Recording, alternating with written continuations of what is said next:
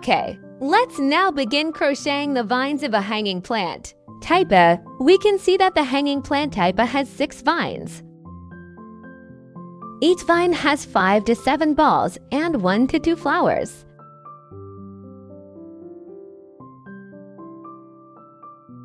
Let's first complete the crocheting of the vines and flowers, and finally assemble them together. We are using green yarn and a 2.5 millimeters crochet hook to crochet the vines first. Wrap the yarn around the crochet hook and use your index finger and middle finger to secure the yarn Make a slip knot and then chain 3.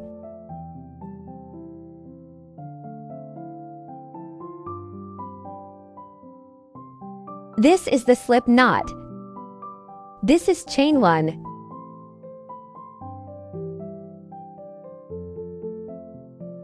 Chain 2. Chain 3. Next, we need to crochet 5 double crochet stitches into the third loop from the hook.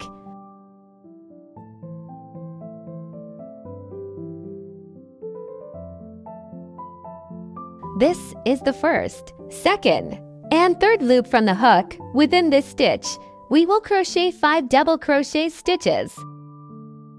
This is the first one. When crocheting a double crochet, it's best not to pull the yarn too tightly. Pulling it too tightly can make it difficult to crochet and can cause the yarn to split. Great! The first double crochet is completed. Mark it with stitch marker.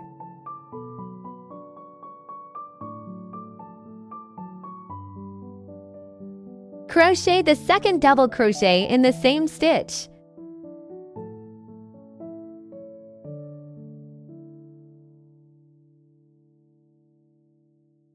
The third double crochet in the same stitch.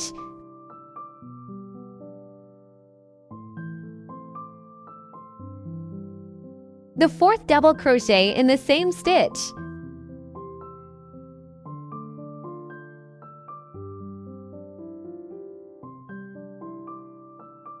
the fifth double crochet in the same stitch.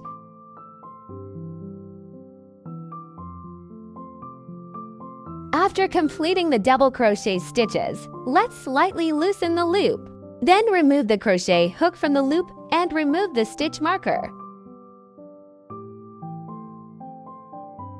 Insert the crochet hook into the first stitch where the stitch marker was placed. Insert the hook back into the loop and pull the loop through the first stitch. Great! We have completed the first ball. Next, we should make 9 chain stitches.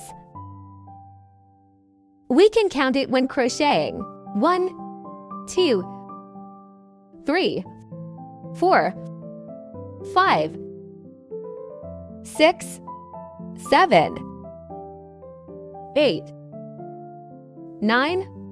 After finishing it, we will begin crocheting the second ball. We also start from the third chain from hook. Count from here 1, 2, 3. We will begin crocheting 5 double crochet stitches at this chain stitch. The first double crochet stitch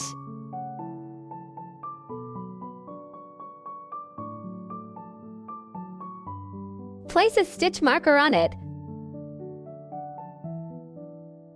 The second one.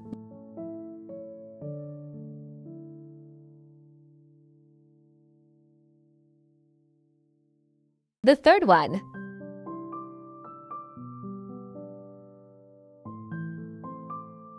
The fourth one.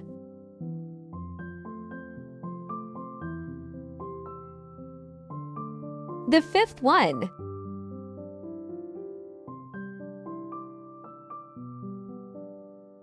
Then remove the crochet hook from the loop and remove the stitch marker. Insert the crochet hook into the first stitch where the stitch marker was placed and pull through.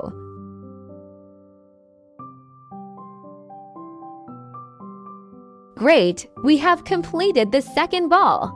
You will proceed with the same steps to complete the remaining four balls in total. You will crochet 6 balls on this vine. See you later! Great! We have completed a vine with 6 balls on it.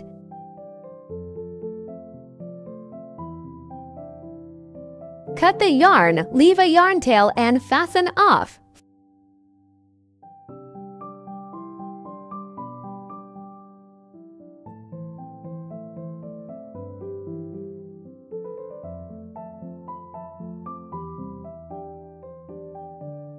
Finally, we will hide the loose ends of the first ball.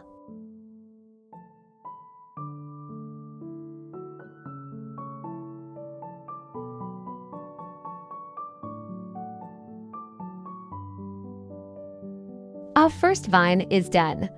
We need to make a total of six vines. Please practice on your own to complete the remaining five vines. Enjoy your practice. Welcome back in a few minutes. Now I have completed a total of six vines. One vine has five balls, four vines have six balls each, and one vine has seven balls.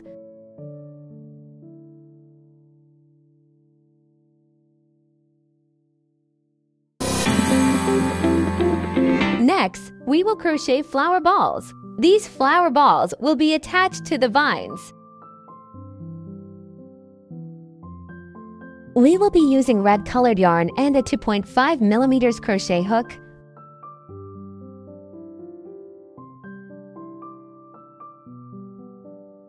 Wrap the yarn around finger.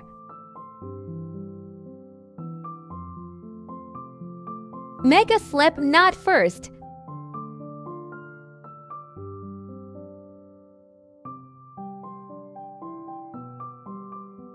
Then make 6 chain stitches. 1, 2, 3, 4, 5, 6. Make single crochet stitches at the second chain from hook. We will crochet 3 single crochet stitches in each chain stitch. Count from here 1, 2. From this stitch onwards, crochet 3 single crochet stitches in each chain stitch. Okay, let me show you how to make a single crochet. Insert hook into the stitch. Yarn over and pull through the stitch hole. Yarn over again and pull through two loops at once. We don't have to mark the first stitch here.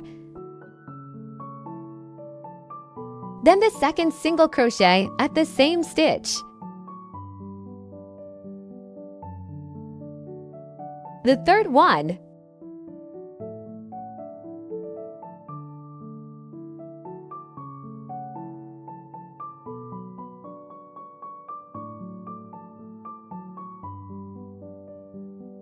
Next, we will continue by crocheting 3 single crochet stitches in the next stitch. 1 2 3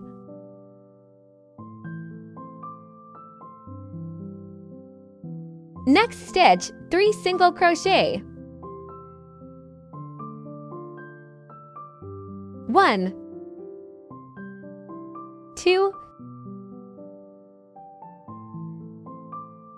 three. In each subsequent stitch, crochet 3 single crochet stitches. I will finish it.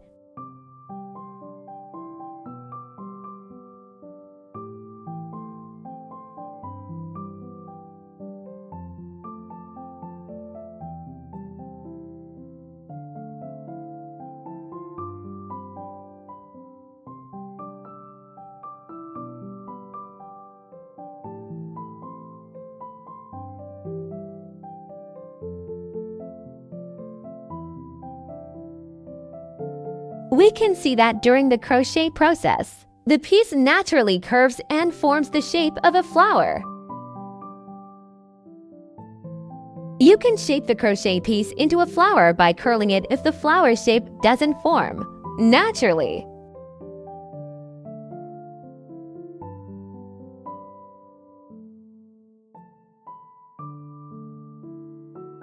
Insert the crochet hook into the appropriate stitch on the back of the flower and pull the yarn through to secure and finish it off.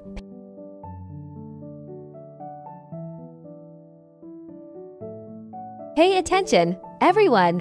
When pulling the yarn through and crocheting, make sure the crochet hook's head is facing downward to easily bring the loop through.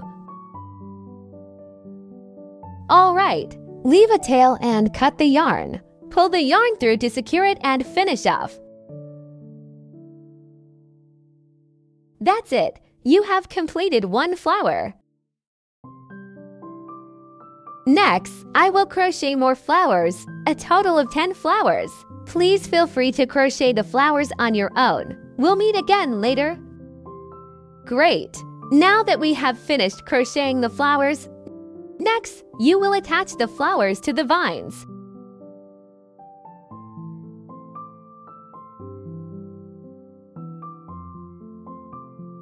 You can attach one to two flowers to each vine as you wish.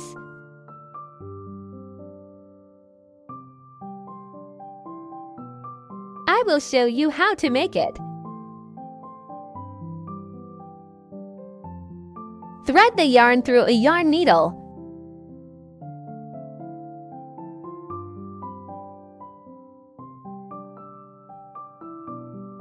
Insert the yarn needle through the stitch. Then remove the yarn needle.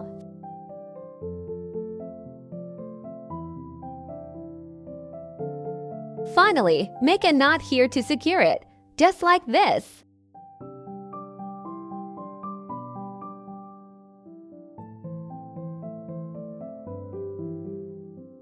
Repeat it again.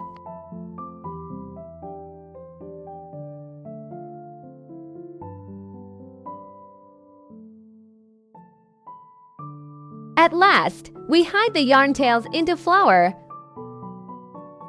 Hold the yarn tail. Insert the crochet hook through the center of the flower, grab the yarn tail, and pull it through.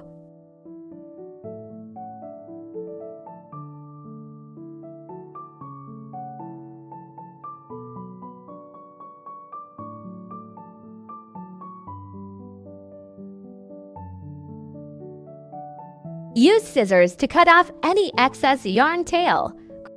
Great! You have successfully attached one flower. You can also tie more flowers on longer vines, like this. Next, we will tie the remaining flowers onto the vines. Please complete this step on your own. Now that we've finished crocheting all the components, it's time to assemble them all.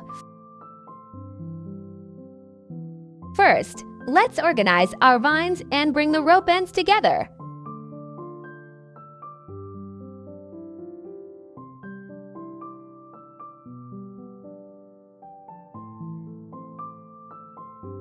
Then, use a crochet hook to thread through the center of our cover.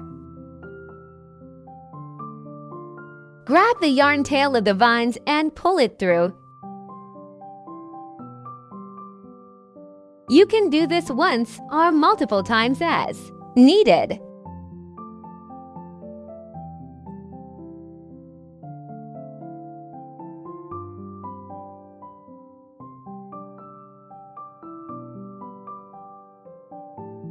Alright, then adjust it to the right position and tighten the yarn tail.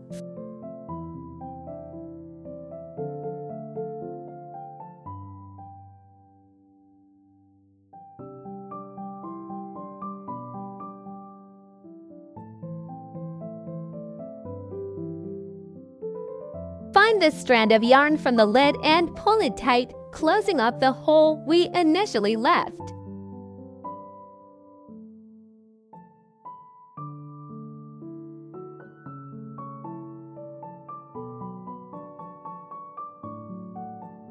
Then tie the ends of the vines and the end of the lid together.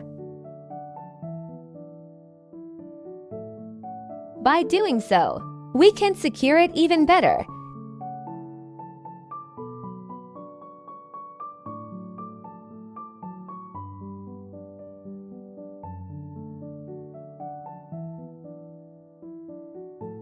Take out our stuffing cotton and then fill it into the pot.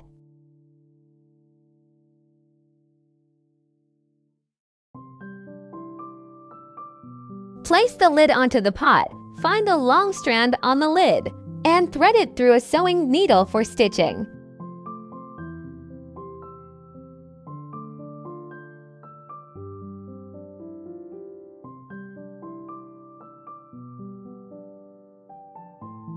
We will stitch together the inner loop of the pod and the stitches of lid. Let me show you.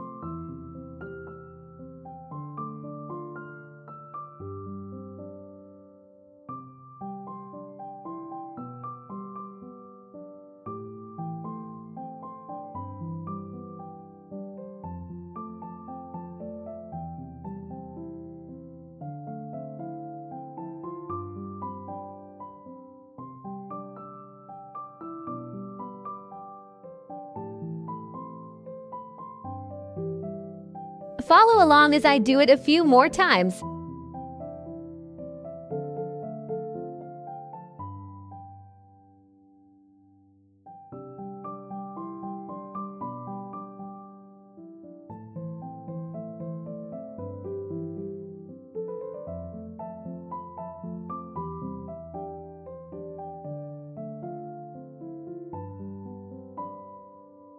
It's best to stitch through each loop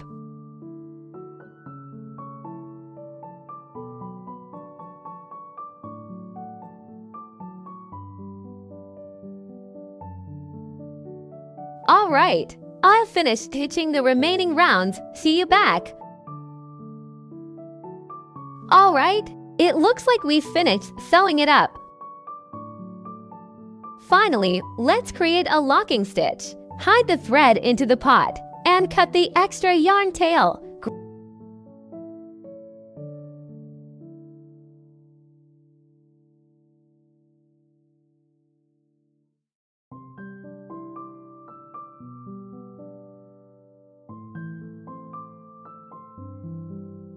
Great! With that, our beautiful hanging basket is complete.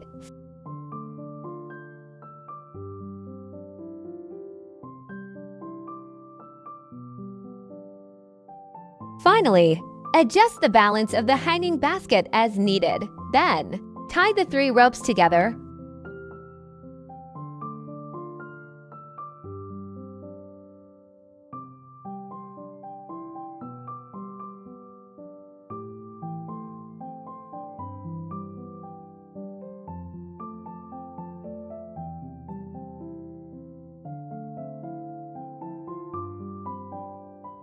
Alright, and with that, our type A project is complete.